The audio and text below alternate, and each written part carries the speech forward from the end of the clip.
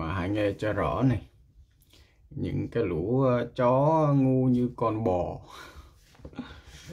Chỉ bởi gì tao sợ chú cha của tao, anh Bihamagati ngày tôi vẫn là tôi.